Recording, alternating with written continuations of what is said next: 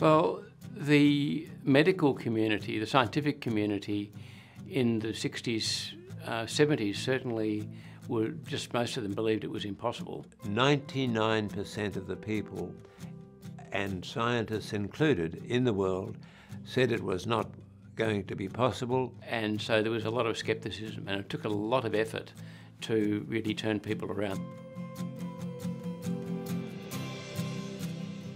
Well, Rod was a, a man who'd gone deaf very suddenly as a result of a motor car accident. And so he had normal hearing up to the time that he woke up and could hear nothing.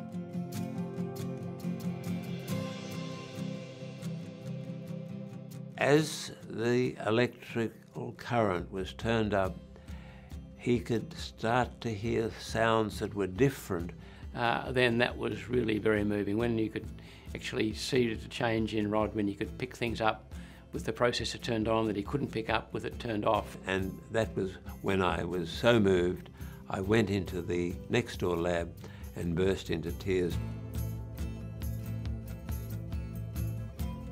And I especially am moved nowadays when young children uh, hear speech. I think the fact that the cochlear implant really does change people's lives. That sounds like a simple set of words, but the fact that it changes people's lives is just the most remarkable thing, and to be part of that uh, is it's the it's, I can't imagine anything else that anybody could do which would be more satisfying. It blows my mind away.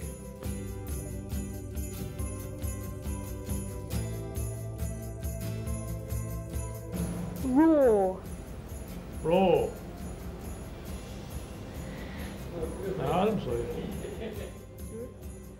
What is the pitch? What is the pitch? Good. Can you hear me? I can hear you.